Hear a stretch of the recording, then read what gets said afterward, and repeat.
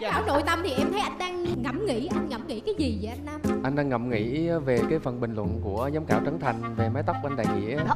Và anh thấy là cái bài ngàn thu ấu tím chắc là viết riêng cho ảnh. Ủa sao vậy anh? Vì có ngàn mùa thu trôi qua rồi mái tóc đó vẫn còn trẻ. Thiệt á mọi người nói xong giờ tôi có cảm giác như tôi thành tinh tới ơi vậy đó.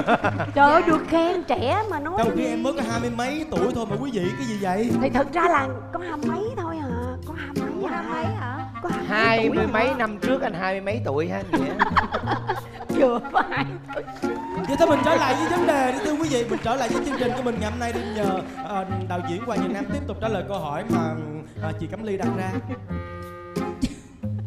quên luôn câu hỏi Quý khán giả có thể xem lại đầy đủ chương trình ngay sau khi phát sóng qua ứng dụng THVLI tại địa chỉ www.thvli.vn hoặc tại ứng dụng THVLI trên các dòng Smart TV, LG, Samsung và Sony hay trên Google Play và App Store.